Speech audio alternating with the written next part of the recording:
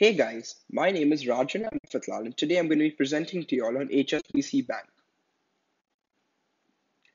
Corporate sustainability has emerged as a critical function of all companies, irrespective of their size, with its reporting being as critical as the annual financial profits to stakeholders. Sustainability has been defined as the ability to achieve meeting present needs without adversely affecting the capability of the future generation from achieving the same. Ranging from McDonald's to Walmart, almost all companies have appreciated the importance of sustainability and adopted it in their strategies to the point of generating annual profits for relevant stakeholders. HSBC is one of the largest banking and financial service organizations in the world, with operations in 64 countries and territories. They aim to be where growth is, enabling businesses to thrive and economies to prosper, and ultimately helping people fulfill their hopes and realize their ambitions. The bank offers services like personal finance, commercial banking, investment banking, and consumer finance, while working with a wide range of customers from small enterprises to mid market companies and large multinationals, providing them with the tools they need to function efficiently. As part of its mission to reduce emissions, it's investing heavily in renewable energy companies working towards a future where 100% of its electricity will come from renewable sources by 2030. With the help of employees, suppliers, and strategic partners, HSBC achieved the initial energy, paper, waste, and carbon reduction goals. They stretched these targets and made them more challenging, including setting a new target to source 100% of their electricity from renewable sources by 2030. In 2019, they were recognized with an A leadership score by the CDP, a leading environmental disclosure organization, and shall continue to focus on achieving the remaining 2020 goals whilst planning a more ambitious target for the future. The bank's pursuit of a traditional strategy is meant to show their stakeholders that they are engaged in practices which benefit the community. In 2017 to 2019, the company used $52.9 billion to fund their CSR activities by promoting education and freshwater availability in communities they operate in. The company's executive committee is only focused on traditional CSR strategies as an attempt to show the company is keen on CSR practices. The bank's traditional approach is geared towards two models developing modalities of implementation and monitoring the CSR activities to gauge the community impact.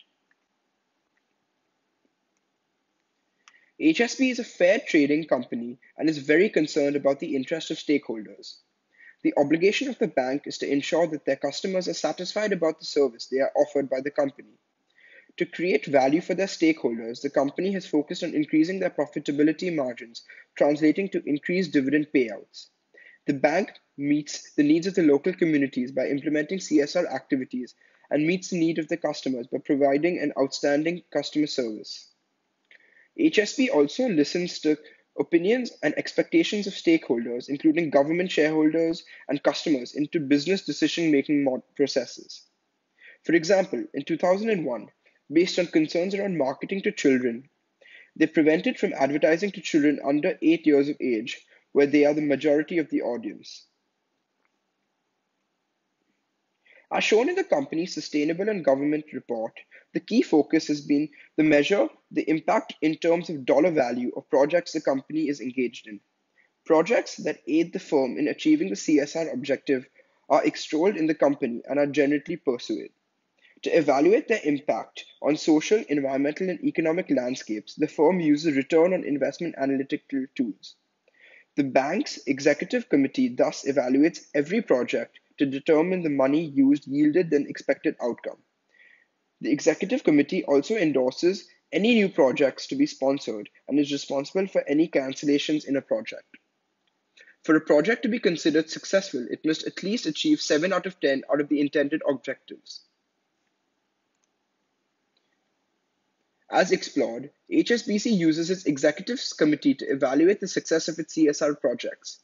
The firm can improve its evaluation by engaging with organizations like GRI, which is the Global Reporting Initiative and Organizations for Economic Cooperation and Development, to evaluate whether its CSR approaches create value for the target communities.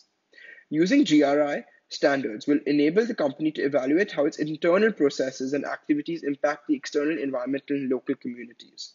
Using OECD metrics can allow the company to align their internal processes to impact low income communities and ensure that the CSR activities impact the vulnerable members of the society. Using these standards will also allow the company to align its key operations to focus more on sustainability instead of the bottom line.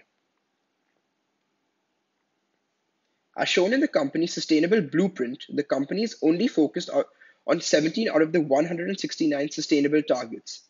This is an indication of the firm's lethargy and inability to adopt and adapt to change. The firm can change the apartheid by focusing on how they reduce their carbon blueprint and focus on the green practices the firm can adopt. Given that HSBC uses traditional CSR approaches, I would say that the company will still be greenwashing. The reason for this is because the company has only set 17 out of 169 targets achieved by 2030. In addition, the company has only focused on few goals in its focus on promoting, promoting education and educational sustainability. HSBC should change its approach and increase its target goals. For instance, to be wholly committed, the company should seek to achieve at least 40% of its 169 targets by 2030. Advancing loans and grants to those companies engaged in social projects, reducing their carbon footprint by adopting the use of renewables. Creating a division focused on evaluating environmental impact of the firm's key projects are very important as well. Thank you.